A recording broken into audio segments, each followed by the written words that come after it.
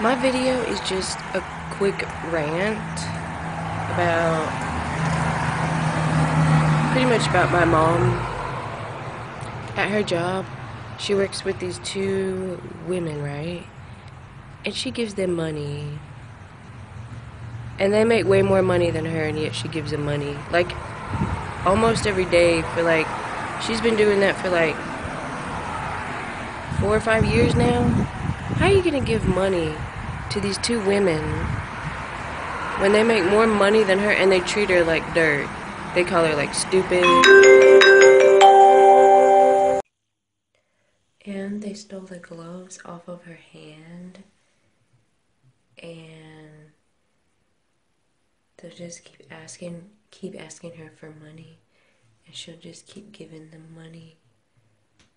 And they're like they have ten dollar buffets at her job and she'll buy them ten dollar buffets.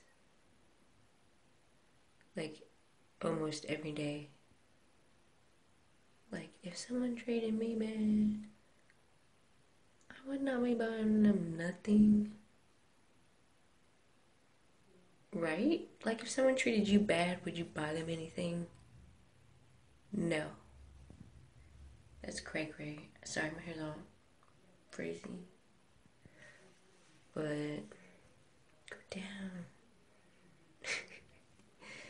um now I'm sick and I have a cold, of course. And but I feel like she should help there's the toilet. yeah, I'm in the bathroom. but I feel like she should help me, not them. Like, I'm her daughter. Like, I'm her only family member that she has. She has no man, no other kids, just me. I'm not gonna have no kids, no way. But if I did, like, I'd be, I'd be wanting to help the kid, not two people that treat me like dirt. But she says the reason why she gives them money and food, and she'll also give one of them a ride home a lot.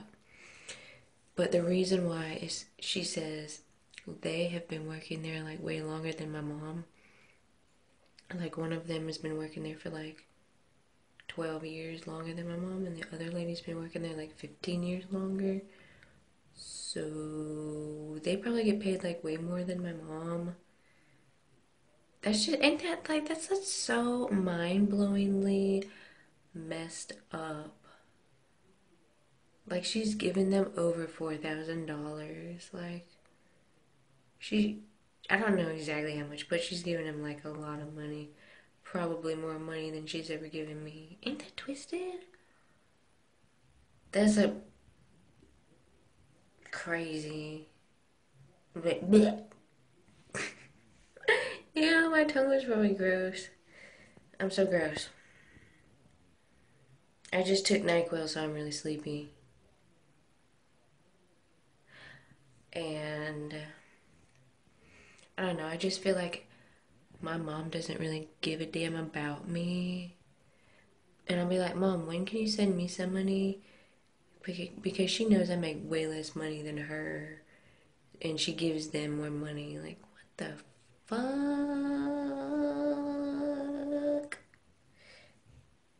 And my dad does the same thing. He gives all his money to his wife and their two kids. And he doesn't, like, give me nothing. That's like, what? That's crazy. So now I have to like try to survive on my own with. I, I live with my boyfriend, and if it weren't for him, like, I don't know how I would be able to survive without my boyfriend. Because rent and bills is like a lot of money. Like, like, could you just imagine if someone just dumps you off on the street or close to it with like nothing?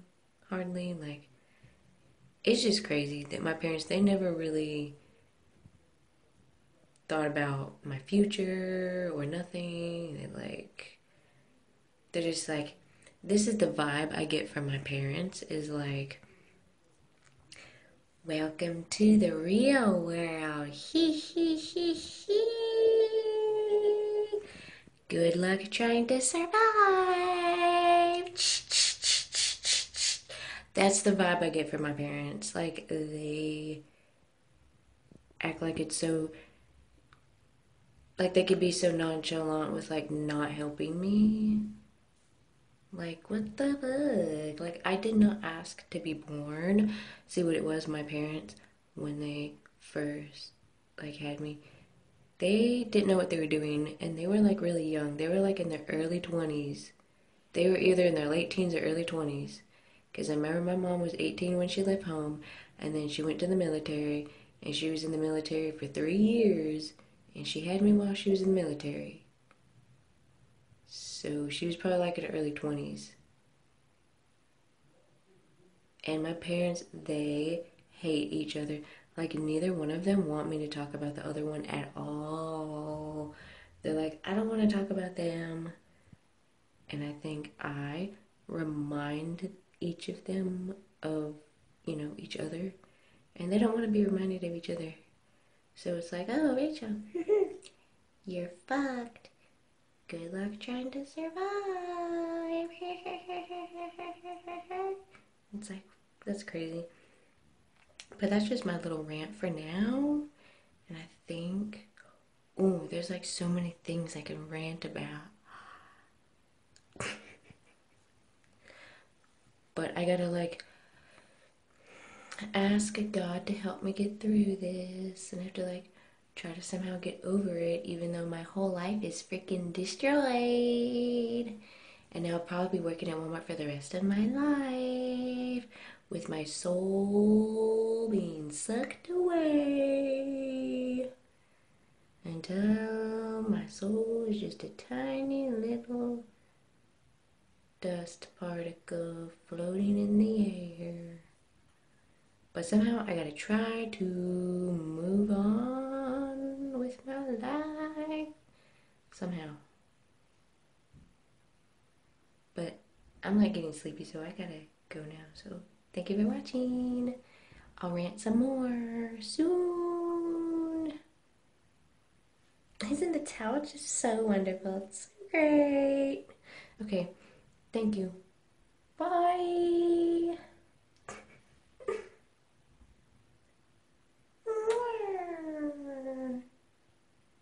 Yet, and I think the reason why my parents are so mean to me, and the reason why millions of people are being well why millions of people feel like there's something not right with this world because these reptilians are running this world and they control the banking industry and our schools and they control the money like the military and they control the religions of the world.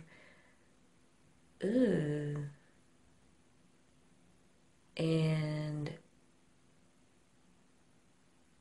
I feel like they these reptilians are definitely the main reason why our world seems like a pretty awful place to live in. I think the world is a terrible place to live in, and this is not a place to bring people into the world that don't if you don't have any money like why would you bring a person into this world just because you feel like oh my mom had me so let me have one too even though i have no money like you gotta have some money if you have a kid and these reptilians, they have it rigged to where you're pretty much fucked no matter what you do. Even if you go to Hollywood, like the Illuminati, hello, I think the reptilians control the Illuminati. The reptilians on the top of the Illuminati, and they control a lot of this world. And it's just sick and twisted how these reptilians they take and they eat people. They eat kids, and there's like eight about eight hundred thousand. According to Mo Othman, he says that somewhere around eight hundred thousand people get kidnapped. I don't know if it's every only in America or all over the world, I can't remember. But a lot of people get kidnapped and are probably eaten alive by these reptilians. This is so freaking mind blowingly messed up and crazy. I could definitely see why my parents are mean. These things are controlling this world, and somehow I'm supposed to be like the the good guy voice, trying to like help you and help myself at the same time because we're all in this together. Like I've even seen myself shapeshift in one of my videos where I paused it where it's a blue screen. But I'm like the good kind. I'm not the bad kind. I don't want any bad things to happen to people. I want people in the world. I want things to thrive on the earth. And I, I don't want the I don't want to see the world destroyed, you know? And I think these reptilians, I don't think they really give a damn about this planet. And they are willing to destroy their own kind and destroy this whole world just because of their own pleasure and their own gain and their own selfishness, just because they think it's funny to tease and taunt and eat people, just because they think it's something. I don't know. I guess they, they eat the souls, they try to eat the souls of the kids to feast on their energy so they can get a high from it. That is really messed up that they want they just want to get high off of little kids' blood. That's crazy. And drink their blood and shit. Kitty. Kitty is worried about my well-being. So I should probably get off of here. But I just wanted to let you know. I think I'm I am 100 and uh, a 100 million percent sure that these reptilians are the reason why most of our lives suck ass. Yeah, most of us have to work jobs we don't like because these demons are controlling the world. And maybe somehow one day we can stop them. And I think that's. sorry, I tried to pick my nose. And I think that's. These these video games, even though I like playing Terra and Elder Scrolls Online, and scary movies and stuff, I think this stuff is preparing our minds for maybe possibly for an invasion of these reptilians maybe one day. Either the hologram fake invasion or the or real invasion of them. They might be growing these things underground in tubes like test tubes and they might bring them up above ground to like eat people. Because i watched some other youtube videos and they were talking about that the only reason the reptilians don't come out of the ground, you know, kind of like tinge, Teenage Mutant Ninja Turtles, the main reason why they don't come out of the ground is because we have to feed them our kids. Like, how twisted is that? That is so ridiculously twisted. Like, I would not want to feed my kid to a demon reptilian. These things are from another dimension and they don't care about people. I'm talking about the ones that eat people. Like, I'm part reptilian, but only like partially. I'm still a good guy. I'm not like, I don't want to eat people and I don't want to cause no chaos or destruction or anything. I'm all about peace and like love and stuff. And yes, I read that book right there, Children in the Matrix. That's a good book by David Icke. Because I seen a lady one time and she had slitted pupils, just like a reptilian or cat eyes. But I gotta get off here and I gotta I gotta eat some food and I gotta go to sleep and I'm sick, I have a cold, and I have to go to work at Walmart so I can work there the rest of my life and only have a tiny little crumb of money, just enough to barely be able to survive. Isn't that just awesome? That's so freaking great, man. I'm so excited to work at Walmart so I can give them my soul. It's just great. But, okay. Ooh, that thing is scary. Yep, Credo Mutwa talked about that alien right there with the third eye. Some of them, they'll look at you and you can instantly die. I can definitely see how they're able to control the world because they're supposedly really smart and have a lot of telepathic powers. But I gotta go. For reals this time, I guess to go. I guess to eat some food before I die over here. So, you will see me in another video soon. So, smash that like and subscribe button. and maybe one day I'll get over a thousand subscribers. Yeah, when I'm like 80 years old. Nah, that would be so sad. But I love you. Bye. Mwah.